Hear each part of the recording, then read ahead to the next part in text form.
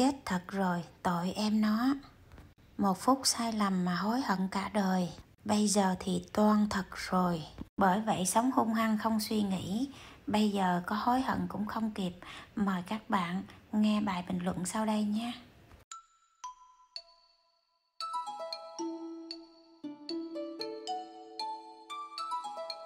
Thế nên là trong thời gian tới đây, thì à, chị sẽ phải gánh một hậu quả cực kỳ to lớn sau khi cái việc là à, một phút bốc đồng và sau này sẽ chị à, ngàn cả đời bị ốc cứt.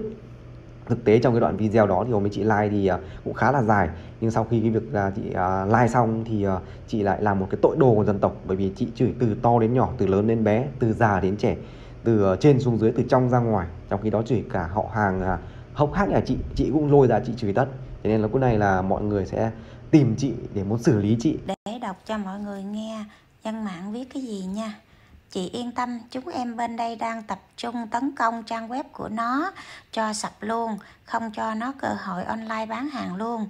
Ai là bạn ở đài loan trang facebook của bạn nó, chỉ cần có mặt nó hay gì thì chúng em tấn công luôn, cho đến khi nào không còn ai chơi hay mua hàng nó nữa. Nếu có trách thì trách nó và trách họ chọn nó làm bạn mà thôi. Mọi người đang rầm rộ để dập em bé này để không cho bán hàng online nữa. Tội chưa? Chỉ một phút lỡ lầm mà bây giờ phải chịu như vậy. Mất luôn cả nồi cơm rồi mai mốt cũng không còn vàng để đeo nữa cho mà xem. Bởi vậy người ta nói cái gì cũng phải có cái đức và cái tâm mới đi cùng với nhau được. Nghe đồn là em này ở bên đài loan cũng phải đi làm phụ hồ rồi này kia lúc đầu tiên. Sau này bán hàng mới có tiền rủng rỉnh và mới có vàng đeo. Lúc đó mới bắt đầu hóng hách và chửi mắng người khác, kể cả trên những cái video clip mà bán hàng cũng vẫn chửi mắng người khác cái miệng không có bao giờ ngớt. Thì đó cũng là cái mà để cho người ta quan tâm. Vậy là cái tính nết hung hăng đã có từ đầu rồi chứ không phải.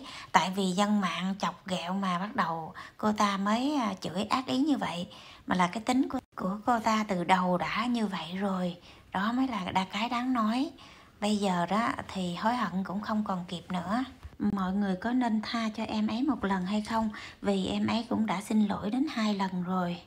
Tội nghiệp đi qua Đài Loan thân gái mà phải đi làm phụ hồ thì cũng vất vả đấy chứ không phải là sung sướng gì đâu. Nhưng mà sau này bán hàng có tiền rồi bắt đầu đổi tánh đổi nết đó mới là cái quan trọng. Cái bạn youtuber kia cũng đã nói là bây giờ đã có một nhóm người à, quyết định sẽ làm việc này với cô ta là kiểm tra hết tất cả những người nào có liên quan đến cô ta và liên quan đến Facebook của cô ta thì họ sẽ cố gắng họ dập tắt hết.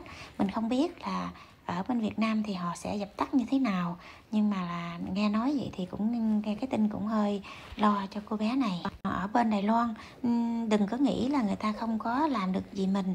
Khi người ta muốn làm là người ta cũng vẫn làm được, mặc dù bạn đang ở nước nào nha à, đây cũng là bài học cho tất cả mọi người chứ không phải chỉ riêng cái cô bé Linh này. Nếu như ai muốn nói cái gì đó mà ảnh hưởng tới mọi người thì phải cân nhắc rất rất rất là nhiều và rất là kỹ. Mặc dù mình là người việt kiều hay là việt nam hay là sống ở việt nam hay là sống ở đất nước nào thì nó cũng ảnh hưởng rất là nhiều với à, tất cả mọi nơi và tất cả mọi người. Xem lại clip chửi và cũng như cái clip mà cô ta xin lỗi một lần nữa để xem là cộng đồng có thể bỏ qua và tha thứ cho em được hay không nha. Chứ à, nếu như mà dập tắt nồi cơm của em luôn bằng cách mà à, không cho em bán hàng trên mạng nữa thì thật sự rất rất rất là tội nghiệp đó. Con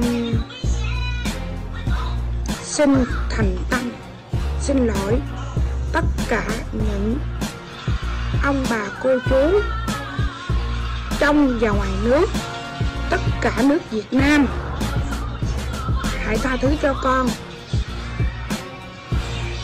vì những lời xúc phạm của con. Tụi bay không ngờ cái lũ nước ngoài, tụi tao tụi bay hút cức ăn trời đó lũ nước ngoài này cái nọ. Là người sao tụi bay biết ăn cức không à? Nhà tao khoan bây giờ tao nói, mỏ vàng, mỏ bề tiền, mỏ bạc, không có mỏ lồn không nè mà đủ má chưa về nữa là đủ con đĩ mẹ nó nó bơi vô. Trời ơi tao nó chưa về mà nó hử mùi hay luôn mấy chế nó hử cái máu lồn em tanh tanh ghê luôn chưa? Là nó em chưa về luôn á. Ở lên nó làm gì đó. Nếu mà về chết mẹ rồi. Bà nói quá trời luôn. Chuyến này nó còn à, thế giới luôn. Thấy chưa? Nó đọc chữ nó còn chưa đọc được nữa. Trách nó làm chi tội nghiệp. Chó. À, qua. Cái gì tụi má tụi bay uh, chữ gì tụi bay chữ đi ha. Để tao nhìn cái nào tao ít thì tao đọc được bị tao không có biết chữ. Tao biết thì tao đọc tao trả lời tụi bay. Miệng rộng ghê. Trời ơi lê quắc thái ơi nghe nè nghe nè nha. Người ta nói ngày xưa đàn ông miệng rộng thì sang đàn bà miệng rộng tan quan cửa nhà đúng không? Còn đời nay đàn ông miệng rộng thì sang đàn bà miệng rộng vàng đeo tới mép lồn mày biết không con ngu? Hả? Đó thời buổi bây giờ, đàn bà mà miệng rộng, vàng đeo tới mép lồn. Có biết